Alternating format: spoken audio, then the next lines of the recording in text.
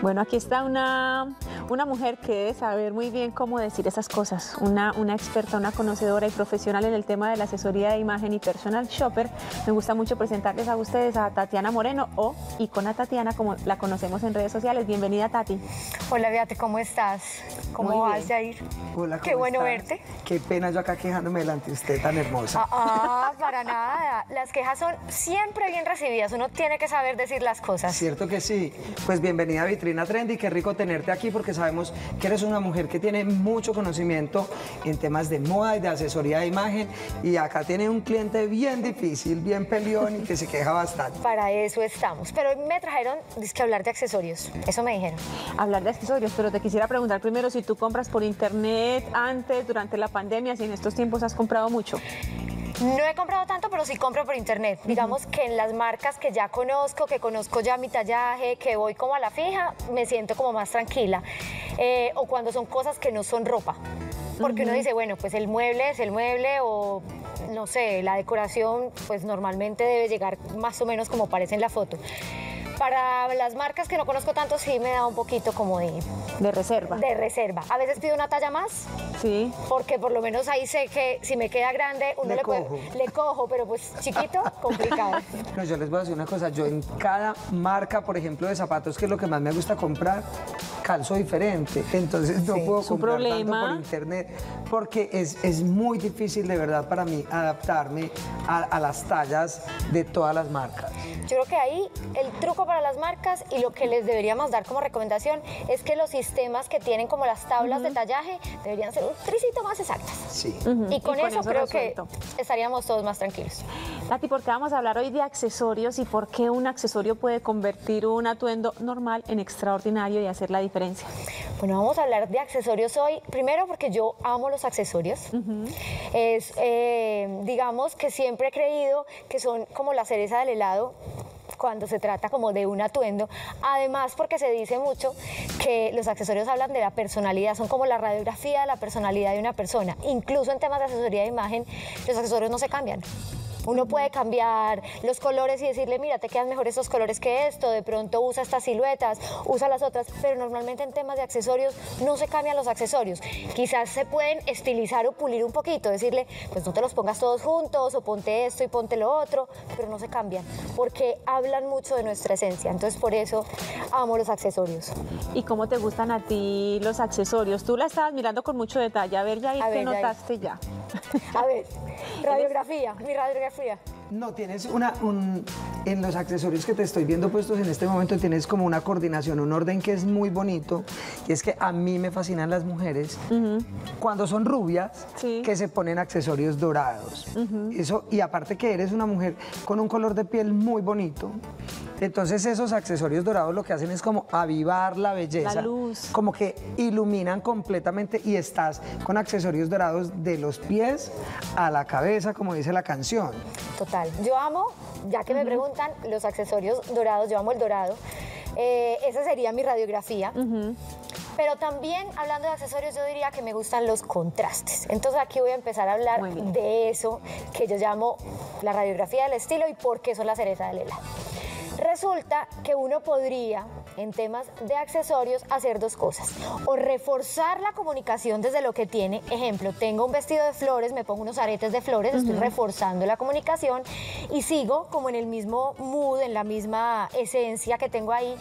O puedo generar un contraste para generar un poco de impacto. Y entonces, ¿qué pasa si esos accesorios no son de flores, esos aretes, por ejemplo, sino que son unos cuadrados, sino que son algo geométrico o algo que tenga una comunicación como completamente distinta? Y de esa manera se rompe la línea, se crea contraste y se marca muchísimo más. Entonces, digamos que esa sería como mi línea o mi estilo en ese momento. Y hay, aquí se los muestro, Animal Print. Sí. Sí. ¿cierto? Pero entonces acá me pongo unos aretes que podrían ser como una especie de candongas, pero tienen un aire medio bohemio. Entonces, esto viene siendo mucho más sexy, el animal print viene siendo mucho más sexy y esto entonces un poco más bojo. Pero en los zapatos dorados, entonces está ese tema de algo un poco más glam, más glamuroso eh, o más elegante y empezamos a jugar. Yo soy un enamorado, primero, me fascinan las mujeres que se ponen accesorios que no los quieren ocultar, es decir, no me soporto la que dice como esto y este topito y uno es como, me ponga. A mí me fascina, soy un enamorado de la palabra glamour y el glamour tiene mucho que ver con el tamaño del accesorio, con cómo estás accesorizada y esos volúmenes y esa cosa, a mí como que me parece que es como de verdad de las divas, eso es una María Félix y eso es esas mujeres que están tan seguras de, de sí misma, de su belleza, de su apariencia, que dicen pues esto que está acá ya es divino, Acá le pongo el letrero que dice, soy mucho más divina. A mí me encantan. A mí me encanta ver a las mujeres de verdad y cuando las veo de sandalia, yo quedo totalmente enamorado, Beatriz lo sabe. Yo soy un enamorado de las mujeres que van por la vida en tacones. Eso me recuerda como a mi mamá jovencita. Mi mamá lloró el día que el médico le dijo que no se podía volver a poner tacones. Yo creo que yo sería igual. Yo también. Dile a tu Y mamá siempre que la tengo acompañamos como- en la pena, que sabemos que es eso. Sí, tengo ese momento como grabado en mi memoria. Y cuando veo a las mujeres ir en tacones, en tacón puntilla, aguja, digo como, mi mamá sería feliz. Sí, porque me fascina verte con ese complemento que tienes en tu vestuario. Como te decía ahorita, los jeans son un compañero ideal en, en- en el vest- en, el- en la forma de vestir de las mujeres y más cuando se lo suman a esas piezas tan femeninas como lo que tienes tú, que es el detalle. em, el detalle de, la, de tu blusa que está en encaje mezclado con el, am- con el animal print y esos accesorios hiper femeninos. Me encanta. Ahora que estás tocando el tema de los tacones o de los zapatos, digamos que, mejor dicho, hagamos una cosa. Voy a hablar de accesorios no solo como aretes o joyas, Complementos sino también. todos los complementos, todo lo que no sea una prenda de vestir. ¿Cierto? Perfecto.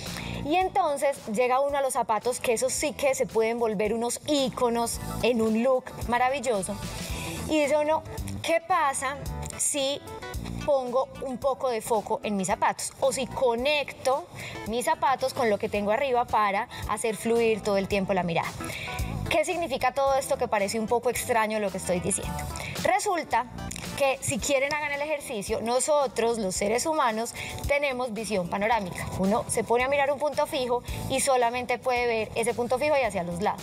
Para mirar hacia abajo tiene o que bajar la mirada o que bajar la cara. Entonces, si yo logro que me miren hasta abajo y vuelven y me miran arriba, logro que la otra persona entienda mi cuerpo como un elemento vertical. Y de esa manera solo por eso me veo más estilizada. Entonces, si yo conecto de alguna manera, por ejemplo, en este caso, si tengo sandalias doradas y tengo accesorios dorados, pero por ejemplo, Beatri tiene los detalles de los tachecitos de los zapatos y solo ese detalle también la conecta con ese anillo y con los aretes, ahí por conexión de color y por conexión visual estoy haciendo que la mirada fluya de arriba abajo y me vea mucho más estilizada. Entonces ahí empiezo a jugar con los accesorios como mis aliados para verme muchísimo mejor. Tati, yo tengo ahí una, una pregunta y de pronto la- las personas en, la casa tengan esa inquietud también. eh, ¿Qué se escoge primero? Si uno de casualidad va saliendo y dice, ay, estos aretes hoy me gustan, no hace tiempo no me los pongo. ¿Cómo se toma esa decisión? Porque uno al final se da cuenta y ve que inconscientemente tiene algo que ver con uno, con el conjunto en general. Lo que parece muy al descuido que los escogí porque sí, termina teniendo un- una razón por debajo. Mira, ahí hay una cosa muy interesante, así como con las prendas, los accesorios se llaman anclas, ¿cierto? Y las anclas están ligadas a las emociones. Si ese día que te compraste esos aretes te pasó algo maravilloso, tu mente en automático los ancló con esos son como mis talismanes de la buena suerte y entonces yo me los pongo en automático porque sé que con estos me va a ir bien o con estos estoy cómoda o con estos voy a la fija. Y por el contrario, cuando me pasa algo no tan chévere, pues entonces uno dice son divinos, pero, ah, pero pues no sé, y uno los tiene ahí guardados, son divinos, y uno no sale de ellos, pero los tiene ahí. Entonces esas anclas, como te digo, que son totalmente emocionales, hacen que tanto las prendas como los accesorios se conviertan en esas como elementos poderosos. Y eso es muy chévere porque nos ayudan como a subir ese ánimo el día que uno dice, qué hago o qué me pongo o cómo me, me subo, cómo me animo, cómo me ilumino, porque otro de los poderes de los accesorios es iluminarnos, iluminar sobre todo el rostro, que es lo más importante. Sí, claro. Yo pienso que una cosa importante cuando hablamos de, de los estados de ánimo es que sería ideal que los aretes tuviesen piedras de colores los colores hablan, y como los colores contrastan directamente con la cara, entonces iluminan muchísimo más. De hecho, o sea, si nos ponemos a ver en muchas culturas, hasta, en, hasta con los indígenas, eh, los indios, los árabes, en diferentes estados, si están enamorados, si están comprometidos, si están en diferentes estados, usan piedra, piedras de colores que se las ponen en la India, por ejemplo, en la frente. Eh, muchos indígenas en, muchas tribus diferentes se marcan la, cara o se hacen líneas de colores diferentes. Entonces pienso que en, los accesorios eso sería un complemento ideal para, la, para expresarse. Y si hablamos de pintarse la cara, hoy labial rojo, y eso no es normal en mí, ténganlo en cuenta, porque los labiales, el maquillaje y las uñas también son accesorios. Y uno también puede jalar la atención hacia las manos y, por ejemplo, va a comunicar algo con un esmalte interesante, o también puede decir, bueno, quiero que me miren, aquí estoy a través de ese labial rojo, eh, y a través de crear como ese color o poner ese color especial en el foco donde uno lo, lo quiere poner. ¿Ustedes qué escogen primero? ¿La ropa? los accesorios, ¿qué? Yo la ropa siempre, la ropa y los zapatos siempre. Y ya luego voy y miro como en el, en el lugar donde están todos mis accesorios y muchas veces uso, por ejemplo, estuvo aquí hace poco Barajas Marín y yo le decía a él, yo uso tus anillos de jaguar cuando tengo como ese significado de fuerza. Entonces, pero siempre escojo de último los accesorios. Yo también escojo primero la ropa. Creo que lo primero que escojo son, yo me he visto como de pies a cabeza. Puede que los zapatos o los, pantalones o la falda. Eh, y luego acá, pero siempre me he visto como de abajo hacia arriba. Escoge siempre los zapatos. Es decir, yo sí tengo súper claro qué zapatos me quiero poner hoy. Entonces soy como que eh, tiene que ser pantalón beige, porque tran, porque tiene mucho color, o jean o no sé qué, pero el zapato es lo primero. A veces digo como, vístase y ya, deje de joder. Y digo como, ya sé, me toca es cambiar el zapato, pero qué rabia tener que renunciar a los que me quería poner, pero me, me pasa eso mucho. Yo también me he visto de abajo para una pregunta. Dale. Para Tatiana.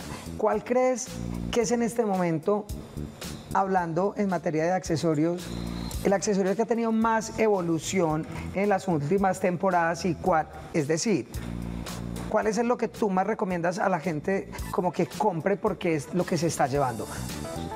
Yo, por ejemplo, pienso que las carteras en hombres y mujeres. Iba a decir lo mismo. Conexión. Las carteras, sí. Te, o sea, hacen un look. Uno puede ponerse eh, lo que sea y una buena cartera te ayuda. Pero las carteras tienen una cosa y es que son un accesorio móvil. ¿Eso qué significa? Que cuando yo llego a un sitio, yo suelto mi cartera y ya no lo tengo. O sea, la influencia que tiene esa cartera sobre mi look se pierde en el instante en que yo la suelto. Incluso ahí para saber en qué punto llevar los accesorios es muy interesante saber, por ejemplo, dónde llevo la cartera. Porque entonces aquí van a decir, no, yo me compré una eh, cartera divina, pero me la pongo y no sé, me siento como rara o a veces me siento más grande, porque resulta que como los accesorios cuando los tenemos puestos también influyen sobre nuestro cuerpo, todo este panorama. Entonces es muy, muy clave tener en cuenta dónde nos los ponemos. Ejemplo, no sé, si yo eh, quiero eh, poner más volumen en la zona de mi cadera, entonces llevo, por ejemplo, el bolso a la zona de mi cadera o me pongo accesorios en las manos porque las muñecas llegan a la altura de la cadera, entonces ahí se va a concentrar como el foco o el volumen. Exactamente. Si quiero, no sé, más volumen acá, entonces ¿qué pasa si más bien me llevo el bolso acá como en el hombro? Entonces también eso también hay que tenerlo muy en cuenta, pero es un accesorio móvil. En el instante en que yo me lo quito, Tatiana, deja tú y, eso me lleva a mí a la siguiente pregunta y es que tú estás haciendo lo que ningún invitado hace y es que se sienta con la cartera al lado.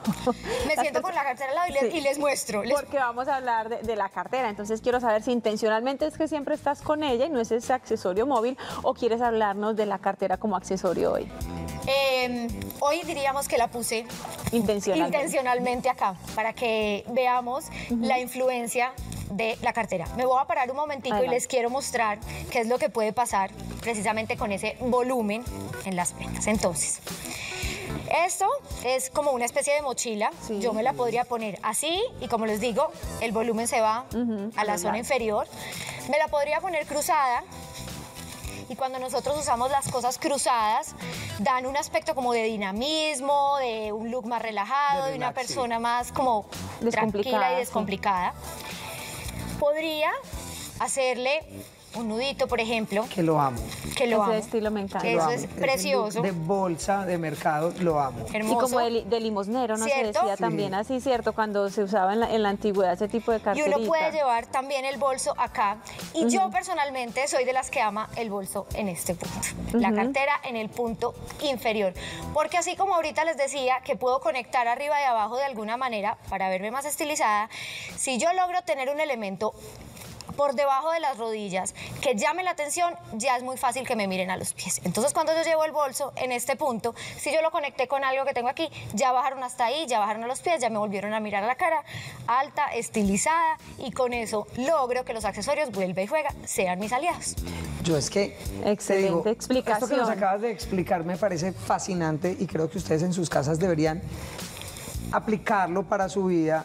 Por favor, esto es un llamado de atención a todas las mujeres y a quien le caiga el guante, ódieme si quiere.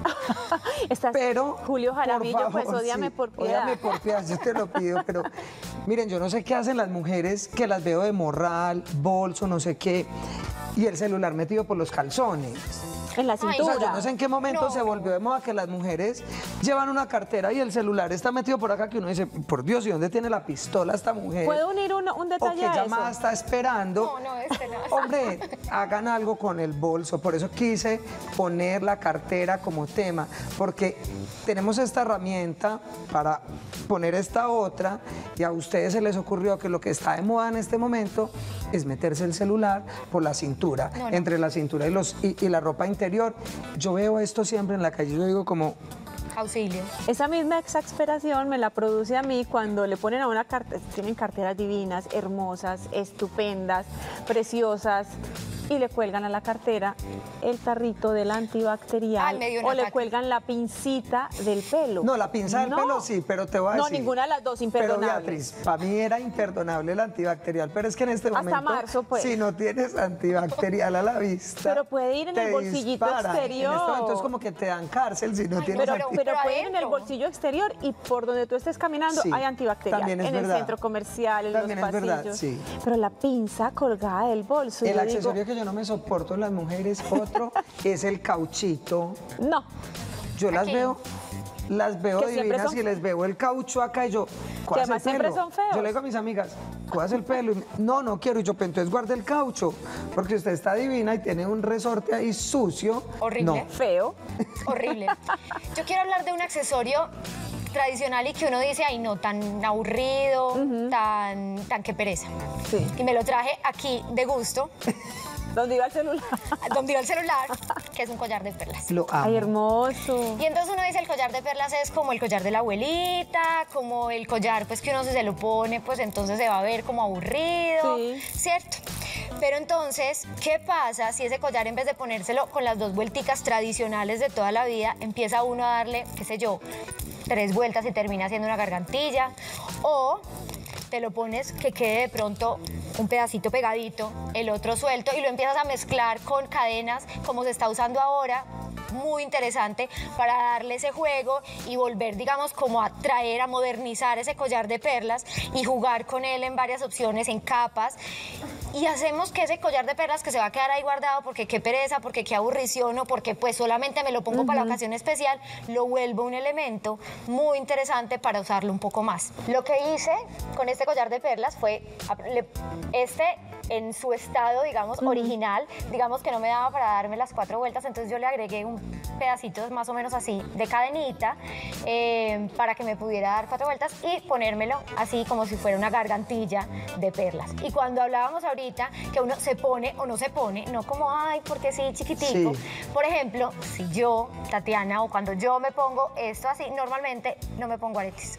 Ni el topito ni nada, no me pongo aretes. Entonces queda ese contraste como de el tradicional collar de perlas, pero súper impactante porque queda súper grueso con el niño, entre comillas, por decirlo de alguna manera, porque a las niñas siempre nos ponen aretes, pero se supone que si yo no tengo aretes, entonces da esa sensación como de rebeldía. Entonces el contraste entre la rebeldía de no llevar aretes y lo tradicional de un collar de perlas. Y ahí seguimos jugando con esos estilos de los que hablábamos ahorita. El collar de perlas, que es un accesorio que últimamente se ha visto, mira, yo cuando hablamos de cómo los hombres han adaptado un accesorio como este, podemos hablar de artistas como Pharrell, que le hemos visto un collar de perlas, Maluma, que se le veía precioso. Que se le ve maravilloso, pero todos son como hijos de la casa Chanel, que Chanel es una marca reconocidísima. Por sí, por tener las perlas como parte de sus colecciones siempre. Para ellos son, como tú dices, Tatiana, emblemática. Yo hace poquito recibí, y aprovecho para saludar a doña Miriam, la mamá de mi amiga María José, que de regalo de alcahuetería abrió su cofre y su joyero y me regaló a mí estábamos hablando de Maluma y de sus accesorios y me regaló uno de sus collares de perlas. Ah, ah, preséntame a Miriam, haceme el favor, doña Miriam. Porque yo le prometí que lo iba a usar así como se los ponía Maluma y ella, muy adorada, muy amorosa, renunció a su collar de perlas y me lo regaló a mí. Pero es una herencia de marca mayor como la de la abuela de, Tatiana también, son tesoros. Pues eso es que me quieren mucho. Ah, qué rico. Pero mira lo interesante, lo que decíamos, ese collar de perlas tan tradicional, ¿cómo se puede convertir en algo tan chévere? Sí, y se ve muy bonito con ropa como para la playa. Y compartir historias así, porque mira, tú siempre vas a poder contar esa historia cuando luzcas tu collar de perlas, que no es muy usual que lo hagan los hombres, hombres con estilo, que han cultivado mucho su estilo, lo hacen, pero tú además siempre vas a estar conectado con, con doña Miriam y con esta historia tan bonita. Sí, el collar de perlas se ve, yo ya lo probé y se ve súper bonito con las camisas como, como playeras, como les decimos las hawaianas, esas camisas de flores de la playa. Eh, con unas buenas palmeras y la fotico de aquí para de, y ya la ensayó. de abajo para arriba y uno ya la tiene ensayada y sale perfecto. A mí personalmente me encantan con jeans, los collares de perlas, con looks informales para dar ese contraste entre lo tradicional, formal e informal. Sí. Personalmente cuando es o chaqueta de denim así que le levantan un poquito el cuello y tu collar de perlas. Me parece lindo. A mí también me parece que se le ve lindo a las mujeres con las chaquetas en el tejido Chanel. Bello, con el tweed. Por supuesto. Sí. Eh, Tati, aquí nos gusta muchísimo romper mitos, nos gusta mucho decirle a la gente, hagamos las cosas distinto, dejemos de creer en, ciertos temas que a veces nos impiden disfrutar tanto de la moda. ¿Cuáles son esos mitos que tú rompes en términos de, de accesorios cuando haces asesorías de imagen? El primero, que dorado y plateado no pueden ir juntos. Amén. Ay, por Dios. Entonces esto es un drama. Sí. Eh, realmente, el ojo humano no, cuando hay brillo, brillo metálico, no entiende el color. Uno podría decir que dorado es como amarillo brillante y plateado sería como gris eh, brillante. Pero el ojo humano no entiende el color en el metal, entiende solamente el brillo. Entonces, cuando yo tengo dorado y plateado, lo que tengo es brillo con brillo. Funciona perfectamente, me lo puedo poner perfectamente.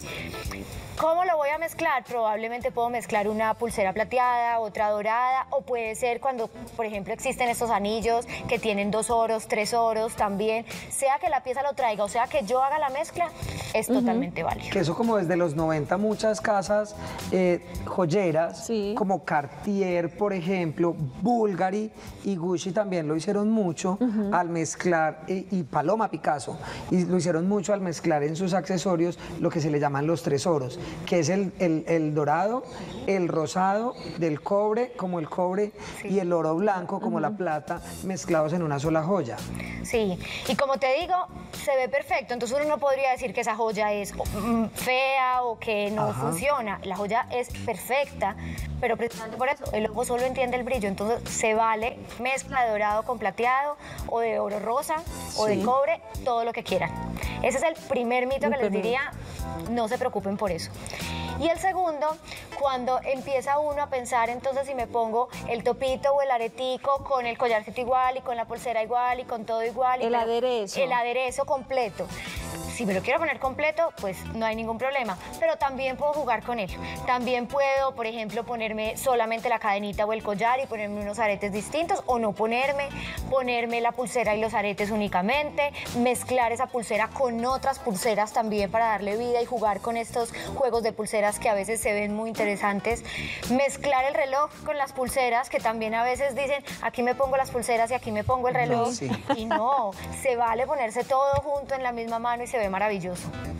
Y muchos anillos, a ti te gustan mucho los anillos, los eres anillos. muy expresiva a nivel de los anillos. Terminemos con unas recomendaciones sobre el uso de los anillos, Tati.